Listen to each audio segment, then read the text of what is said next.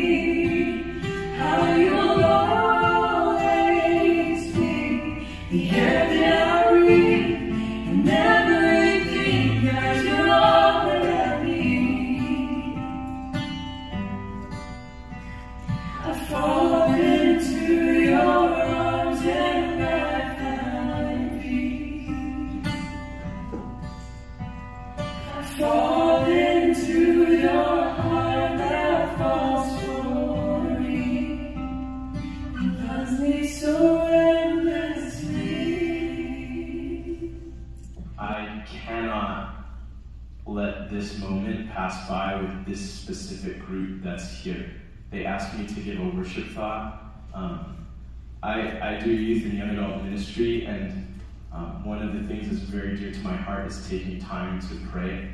And there's something that I noticed in this specific space here is that we have uh, generations. Thank you for the cross, Lord.